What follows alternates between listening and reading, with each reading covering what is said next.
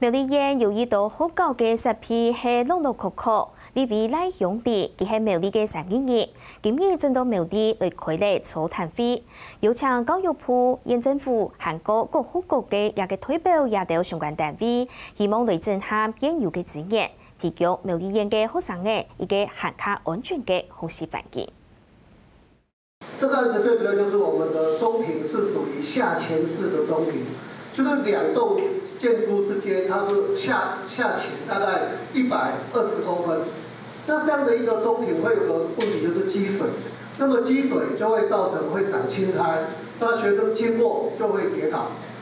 苗栗县内有当到高沙同运通跑拖，因为延长一九毛一张，更怕会有安全方面问题。韩国政府推动各种手全面按冷气政策，去为高沙堵到为批天爱改善一定问题。呢位赖雄林出面车为教育部官员，韩国苗栗县新建学校代表来做教育建设座谈会。哎呀，教育部嘅国教署、韩国诶体育署嘅长官哈，全部有来诶，为到人家廿八个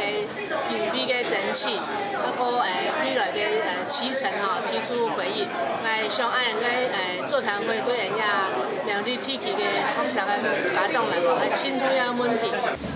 教育部国教署代表讲。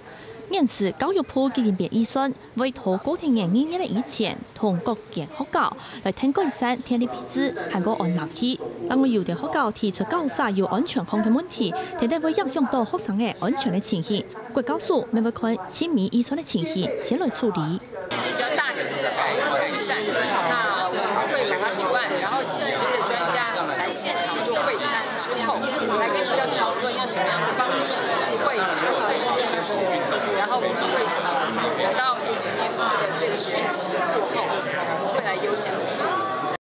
赖雄林讲，苗栗县有当多较偏向的学校，因为经费唔拉，冇办法去涨。唔过教育总唔得上向有政策，希望也从草谈，为本中央看到地方方嘅需求，还个提供资源来听数，安尼苗栗嘅学生诶，我有热力安全学习嘅成长环境。下个新闻杨怡诺苗栗报道。